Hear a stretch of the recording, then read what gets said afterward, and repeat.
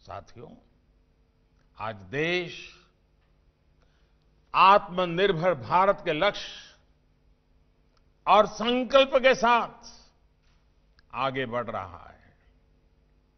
आज आत्मनिर्भर भारत का विचार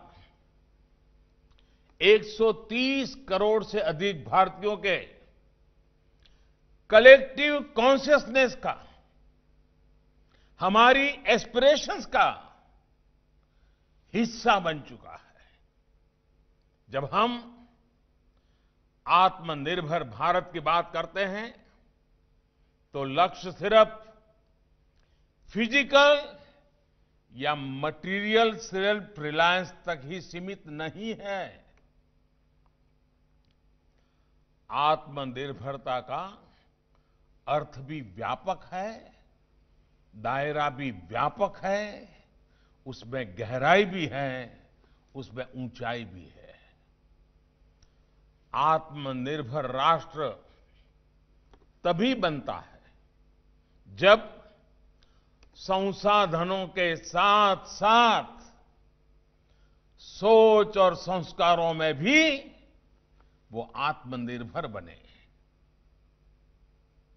विदेश में एक बार किसी ने स्वामी से, स्वामी जी से पूछा था कि आप ऐसा पहनावा क्यों नहीं पहनते जिससे आप जेंटलमैन लगे? इस पर स्वामी जी ने जो जवाब दिया, वो भारत के आत्मविश्वास, भारत के मूल्यों की गहराई को दिखाता। बड़ी विनम्रता के साथ उन सज्जन को स्वामी जी ने जवाब दिया कि आपके कल्चर में एक टेलर जेंटलमैन बनाता है, लेकिन हमारे कल्चर में कैरेक्टर तय करता है कि कौन जेंटलमैन है।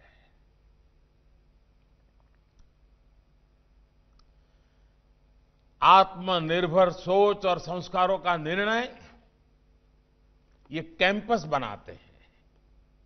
आप जैसे युवा साथी बनाते हैं।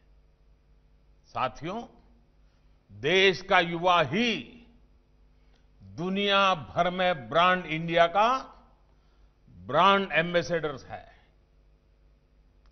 हमारे युवा भारत के कल्चर और ट्रेडिशन का प्रतिनिधित्व करते हैं। इसलिए आपसे अपेक्षा सिर्फ़ भारत की पुरातन पहचान पर गर्व करने भर की ही नहीं है, बल्कि 21वीं सदी में भारत की नई पहचान गढ़ने की भी है। अतीत में हमने दुनिया को क्या दिया, ये याद रखना। और ये बताना हमारे आत्मविश्वास को बढ़ाता है। इसी आत्मविश्वास के बल पर हमें भविष्य पर काम करना है। भारत 21वीं सदी की दुनिया में क्या कंट्रीब्यूट करेगा? इसके लिए इनोवेट करना हम सभी का दायित्व है।